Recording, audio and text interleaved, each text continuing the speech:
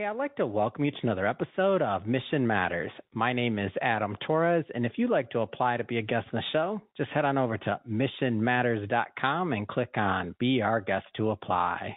All right, so today's guest is Danielle Dongmo Godfrey, and she's CEO over at Setapart Accountancy Corp. Danielle, welcome to the show. Thank you, Adam. I'm happy to be here. Oh, I'm excited to have you here as well. I know that you were referred over to us. We've been covering the Reg A and crowdfunding conference that the, the Deal Flow guys, Charlie and Philip over there, have been are, are throwing, and it's going to be taking place actually this week. And so big things happening there. And I understand that you're going to be attending, and also you're going to be participating on a panel. Am I off on that? Yes, correct. That's awesome. Tell us a little bit more about the panel and what you'll be talking about.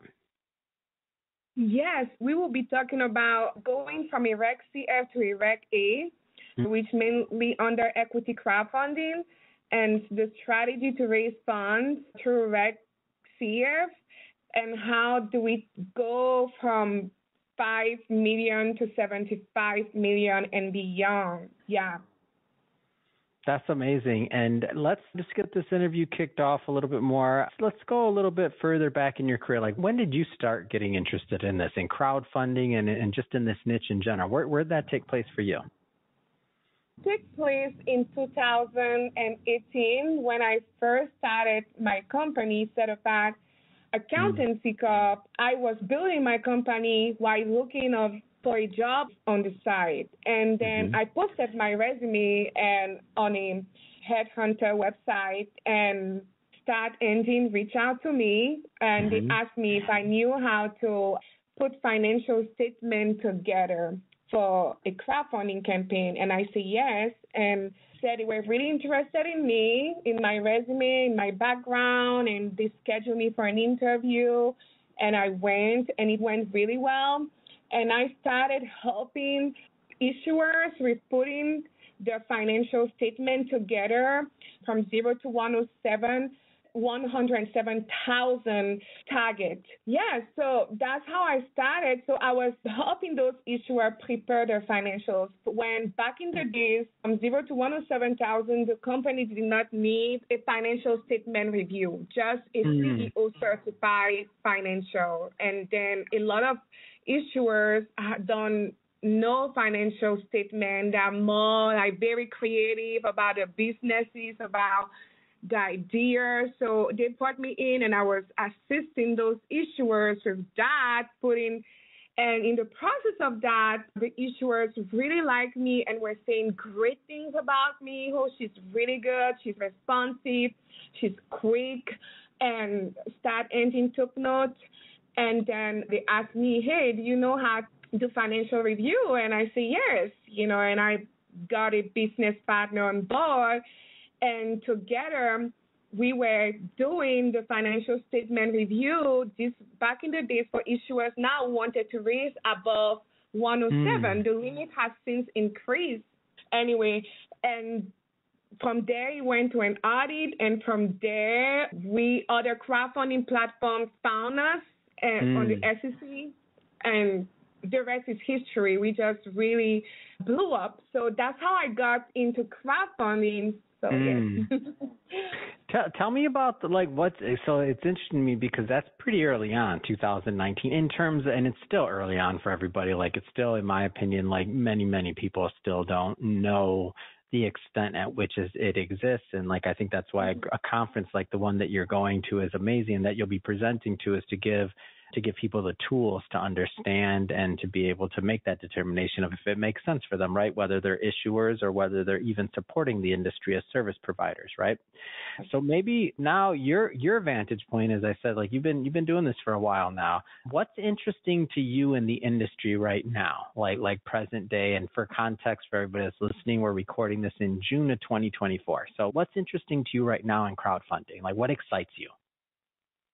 You know, what excites me about crowdfunding first is always seeing new companies go on and reach their targets in terms of capital needed. So that's very exciting every time they reach their their capital and how quickly they do it for some of them. And then what also is exciting is how crowdfunding is really gaining popularity. More people learning about it. Like just recently, a friend of mine found out I was speaking and she was like, Oh, crowdfunding, what is you know so yeah a lot of people are learning about crowdfunding is getting it's true even though it's been around for a little while i completely agree with you. People yeah. still, will still surprise me when i'm in i'm like wait a minute you didn't know that was a thing or that's an alternative? And people are like no i just thought that go ahead continue i'm sorry i agree with you though. Yes yes exactly so i believe that the market that is still very huge for crowdfunding mm that how we allow unaccredited investor to invest and it make it really simple for for anyone uh, to invest. So mm-hmm. I really believe that is it has a lot of potential. There is a lot of potential. This is great time for crowdfunding. Yeah. Yeah. And you've seen so many campaigns. I mean, you've been in the business for a while. You've seen a, a, lot of action. Talk to me a little bit more about what you've seen like works in terms of a, or what are some of the good characteristics of planning and launching a good crowdfunding campaign that you've seen? Obviously, understanding that no two campaigns are going to be identical, but what are some of the good characteristics and traits to launching? That's a great question. I would say one of the preparation, being really prepared, is is really key in launching a crowdfunding campaign and also building awareness about your product or services, crafting a compelling story, mm. compelling narrative, articulating your mission, your vision, and your growth potential, and engaging with the audience who pitch videos and, and, and building a strong online presence a leveraging influencer, which all of that goes under marketing. So making sure you qualify for crowdfunding and selecting the right platform and just making sure that you have all your documents together because all of that you will need from incorporation, all of that, your debt agreement, everything regarding your financial needs to be in order. So yeah, I think that yes, it goes down to preparation and, and, and marketing and just making sure that you qualify because companies go through due, due diligence and approach uh, when they go through crowdfunding platforms. They should make sure they don't have any they're not bad actors companies. So that's a, that actually leads me to the next question. Are there any like just uh-huh. big pitfalls, like things that are kind of, and obviously there's going to be variations, but just things mm-hmm. that you know, kind of kill crowdfunding campaigns from the beginning, even that that could have been avoided. You know what I mean? Like those obvious things that you just don't know, and if you're not working with the right team or otherwise, like what are some of those obvious pitfalls? Yes, the obvious pitfall. What I've seen a lot is issuer not make, doing their due diligence regarding mm. the right platform. For instance, and then I down the line, oh, I didn't know all of these. You know, yeah. you didn't tell me.